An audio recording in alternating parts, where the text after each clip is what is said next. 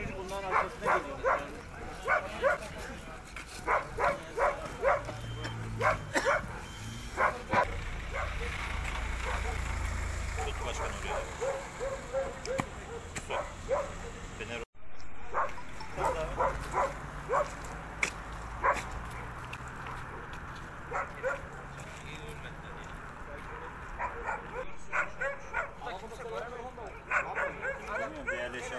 eşyalar var.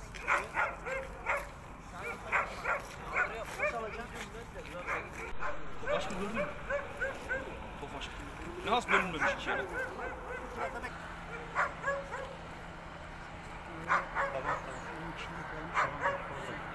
Alsam ben sana getireceğim. Böyle olur mu? Senin balın devlete mi atıyor? Tabii canım. Herkesin. He. Şu arabaların bizim ülkemizde hala trafikte olması bizim ayıbımız. Bizim ayıp. Bizim ayırmamız da böyle şey bunlara neler yapıyorlar bir de ya. Aynen öyle. Bizim ayıbımız ya. arabaya değeri kadar ceza yazılsa bu arabayla oynayanlara